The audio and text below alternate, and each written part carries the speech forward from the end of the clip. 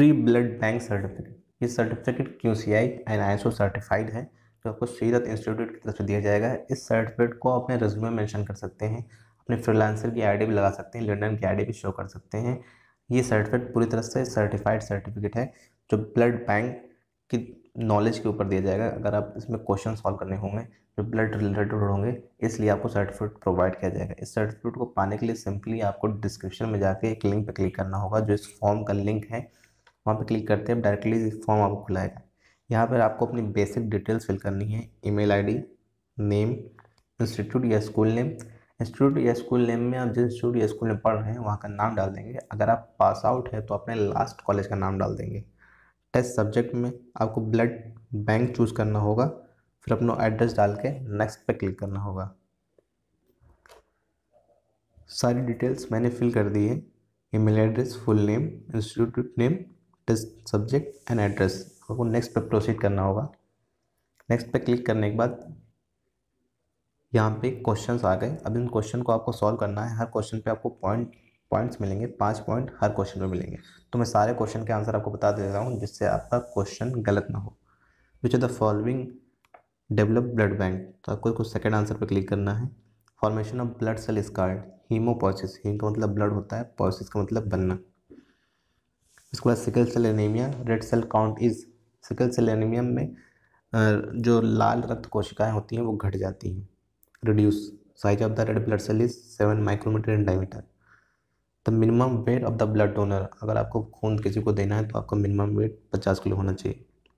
The lower limit of haemoglobin female blood is haemoglobin बारह से सोलह ग्राम पर हंड्रेड एम ब्लड होना चाहिए। मगर फीमेल्स के लिए बारह ही लेते हैं और मेल के लिए सोलह या सोलह से थोड़ा कम, चौदह, पंद्रह ले लेते हैं।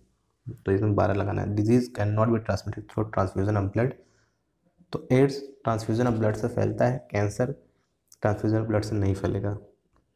Red blood cell can not be frozen and stored up to इसमें फाइव ईयर्स लगाना है।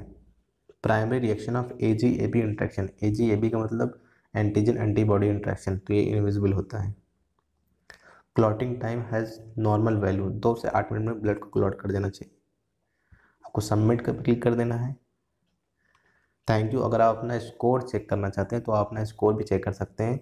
ये सर्टिफिकेट अपने ड्राइव पे आपको चेक करना होगा।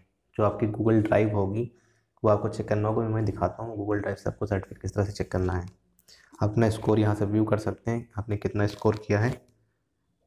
फोर्टी आउट ऑफ़ फिफ्टी यानी क्वेश्चन कोई गलत हो गया। है यहाँ से आप चेक कर सकते हैं कौन सा क्वेश्चन आपका गलत हुआ है।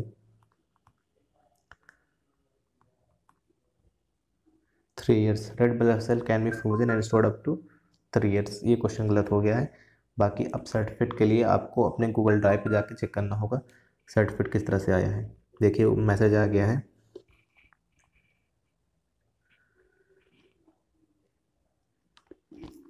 ये सर्टिफिकेट है। Certificate for Wasimal Siddiqui from blood bank PDF ये पीडीएफ फॉर्म में सर्टिफिकेट आ गया है, उसको ओपन कर लेंगे।